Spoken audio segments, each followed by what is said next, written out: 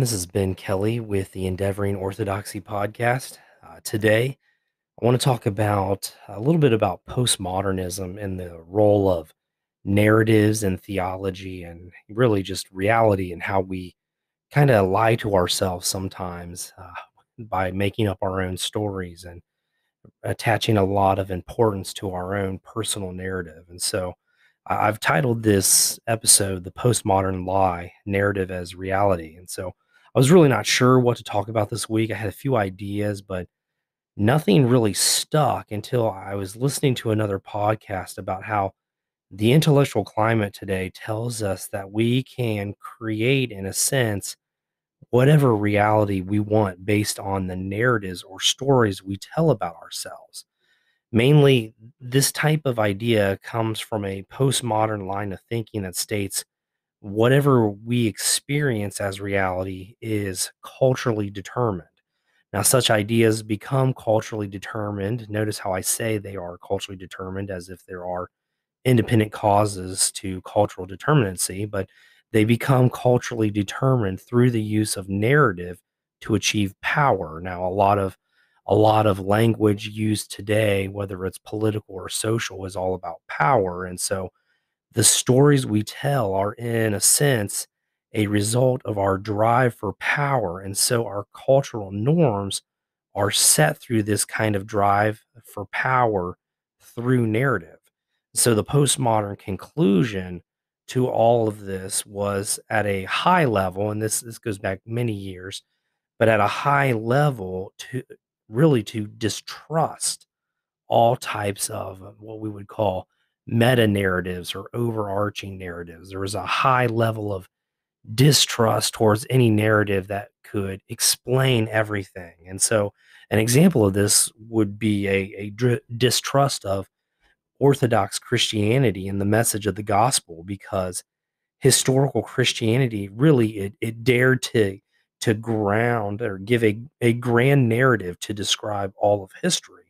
And so uh, one of the things that is highly studied today since really the 1990s, um, especially in conservative Protestant theology, is biblical theology, how the entire Bible really works together as one narrative, all pointing towards the gospel of Jesus Christ. Now, this is something that the church has upheld for many, many years, but this has really been a, a something that was uh, it's been focused on in academic theology a, lot in the last 30 years. And so uh, this kind of postmodern distrust would be positioned towards this grand narrative of the Bible that everything in scripture points to this one overarching meta narrative of the gospel of Jesus Christ. And so we, we get that kind of sense today in our culture where there is a lot of distrust about the narratives we uh, we use and what postmodernism would do is it would say, well, this Christian grand narrative that you have in biblical theology where everything is pointing towards the gospel, that's really just a drive for power and it's using story, it's using language to try to attempt to gain that power. Now, some Christians go along with this type of thinking, not really knowing what they're getting into. Uh, they support progressive ideas of overturning normative narratives in our culture. And they do that for the purpose of really toppling power structures, power structures within society. Um, usually they see them in service of, you know, um, pushing down people of my minority status, whether that's of race or gender issues. And so a lot of Christians go along with this mistrust of meta narrative type of thing because they believe that those narratives are used for the purpose of power to push down those who are quote unquote oppressed in our culture.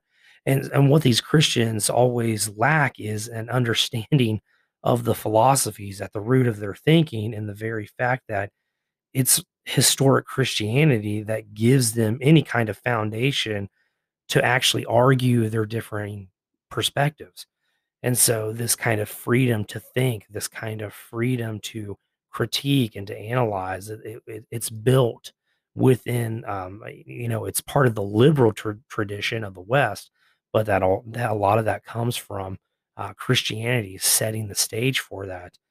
And so I, I personally would even go so far to say that Christians like this who who push this down, um, who you know propose this kind of thinking, this kind of postmodern thinking, they're probably not even Christians in the first place, as their allegiance is really to cultural progressivism rather than Jesus Christ and the and the message of the gospel. And so at the heart of this kind of postmodern lie, this idea that we can create whatever reality we want through our own stories or narratives, there's there's a lie.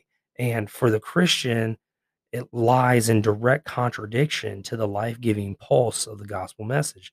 The Christian who espouses the idea that we can create our own reality through a type of our own narrative or story is actually committing heresy. Any kind of Christian who promotes this idea that we can really direct reality, create our own reality, and encourages other people within the culture to do the same is really placing himself against the narrative, the gospel of Jesus Christ. And so in the in the Bible in John 1, it states that in the beginning the word or the logos it there it was and it was with God. And so the word is typically identified with Jesus Christ.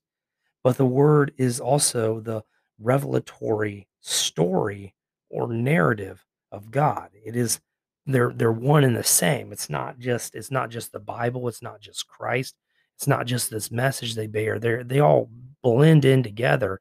Christ is the incarnate word that we see in the world who is proclaiming the kingdom of God. It is the story of God coming into this world to save his people. And so all things are made all things are made through this word. We see that in the Bible.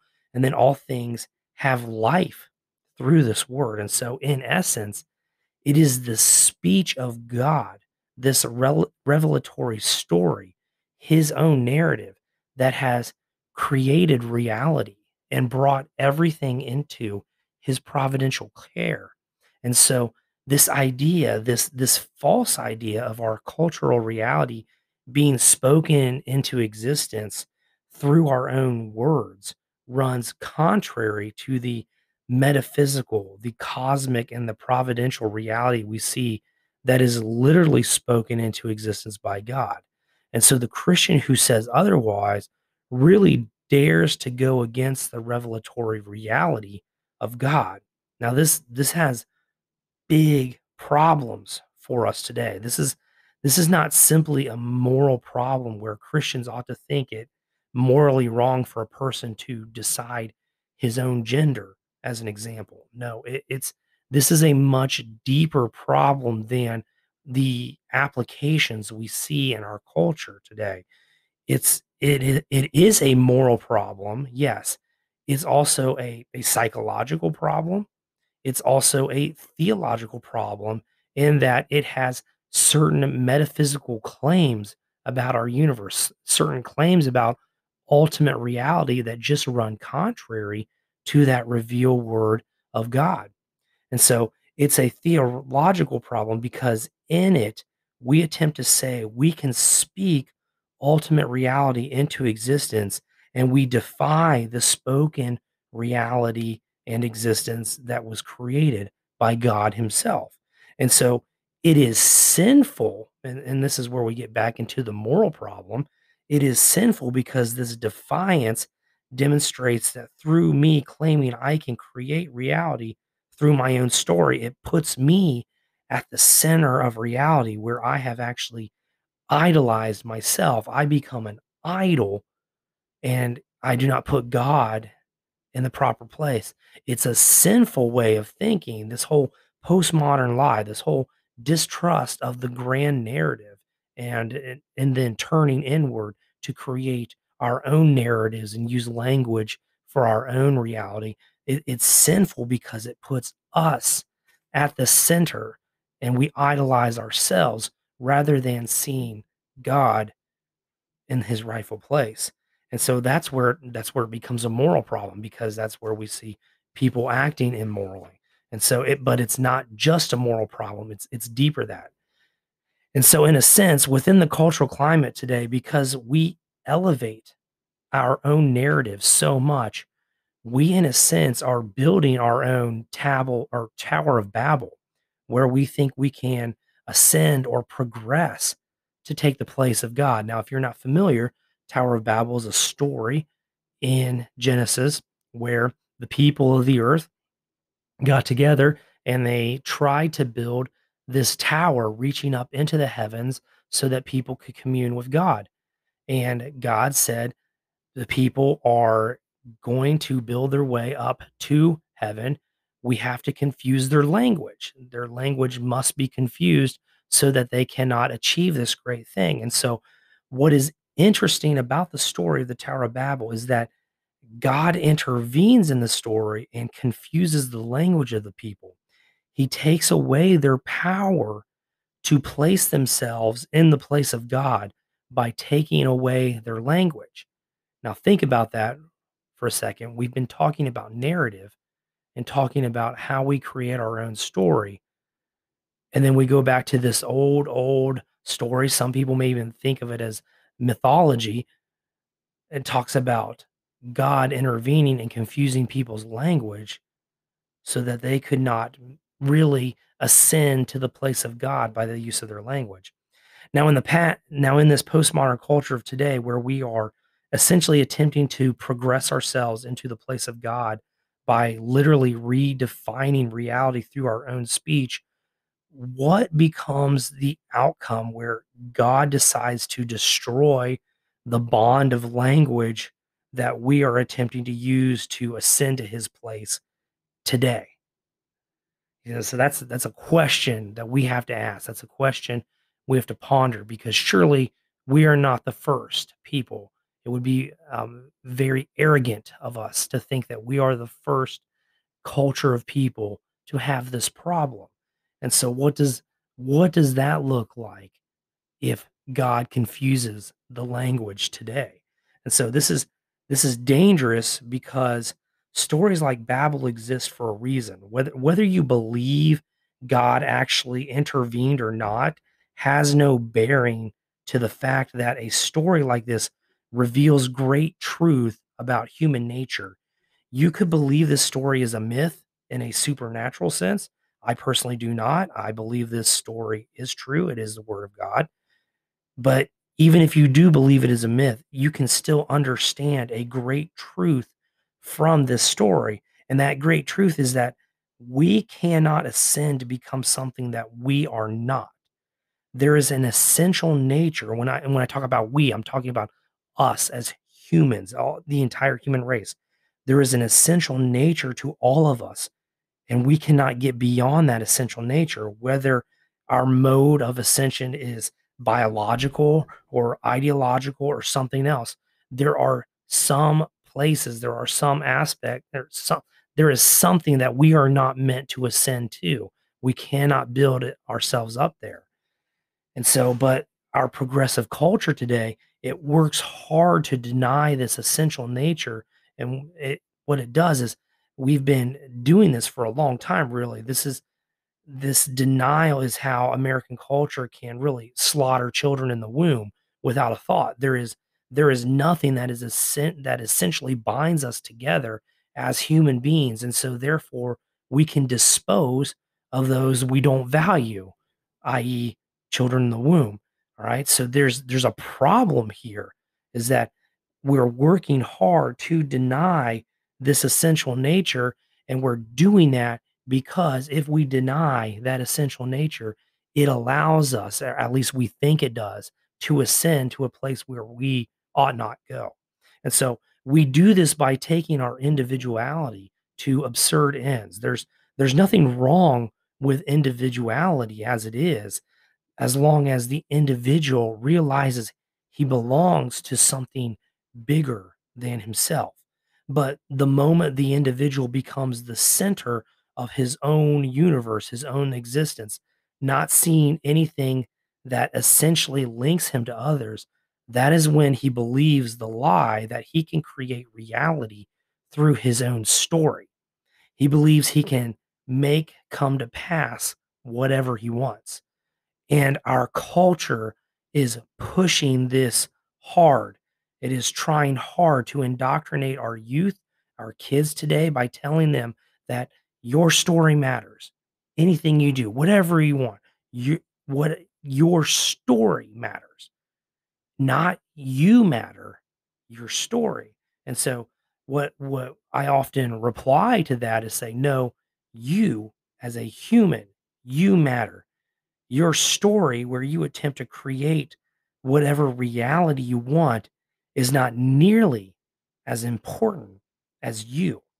And so we're we're currently bringing up a generation by telling them that there are no essential values that bind us together, that make us similar as human beings, that any violation that you experience is not a violation that is shared across the human race, but is a violation spe- specifically because it distorts, distracts, or destroys your own so called reality, your story. Your essence and your identity is not tied to a greater bond of humanity, but is whatever you project it to be. And so if if you want to believe you're a cat living in a human body, then that is your story. You do not have to, you do not share essential characteristics with other human beings in this culture today. And so this is this is the incredible lie the people have to convince themselves of that they are the creators of their own story and they they are trying hard to ascend to a a moral religious and psychological category that was previously held by something greater than themselves some examples in different cultures would be, you know, different cultures had the gods. They had a, a polytheistic vision of many gods, and and the place where the people were trying to ascend to was the gods, but they couldn't. Or it might be, you know, the Christian conception of God, you know, which is also um, Jewish and um, some aspects of Islamic. You know, there's there is the Abrahamic faith God out there, you know, that people, especially in Babel, people tried to ascend to. They couldn't. There's that warning there. You can't get there. For some people, we've seen this in the last few hundred years in the, you know, in the West, um, eh, but we've also seen it in the past and other forms of history. The state becomes something that takes that place that people, er, individuals may try to ascend to, but they can never get there. And that that's that's what we're talking about here. This is it's a, it's an incredible lie that our culture is telling us where we can create a story that puts us at the center of the universe and creates our own reality. So it's no wonder so many people in our culture today are plagued by psychological problems like stress anxiety, and depression. They are attempting to build a tower to the heavens and take the place of God, and they simply they cannot do it. They they weren't meant to do this. It's an overwhelming endeavor, especially when you take into account that you run into tens, hundreds, maybe even thousands of people who are trying to make that same journey up the tower themselves and they have no thought of you while they're doing it. And so it almost becomes like a, a cultural battle of king of the hill. You know, everyone is trying to create the greater story to um, trump the other stories, to push out the other stories out of the way. And, and, and you may be a character in that other person's story, but you only play a minor role. You, you're not the main character. You're not important. You have no essential nature that links us and bonds us together as human beings. And so, at least the people of Babel were working together towards a common goal.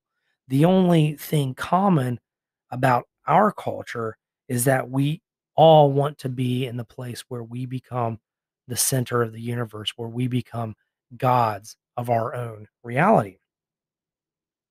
And this is this is the vein that the gospel story touches because it places the incarnate word or the story of God into human history and accomplishes what humans could not do themselves. The God man Jesus Christ is the one who was able to ascend that tower where we fail. And so the lie of our age is that each of our own stories matter to the point that we literally define all boundaries and conceive of our own reality through our story. And this is simply a lie. A culture cannot be sustained with such hyper individualism. We ought to learn to call this kind of thinking out. We ought to learn to understand what this thinking is, how to identify it for its shallowness, and to point out how it has literally bankrupted our culture and it continues to ruin the lives of people because it's promising them something that they were not meant for. And so there are some things we were not meant to ascend to. And there are certain gaps in our lives we cannot fill on our own.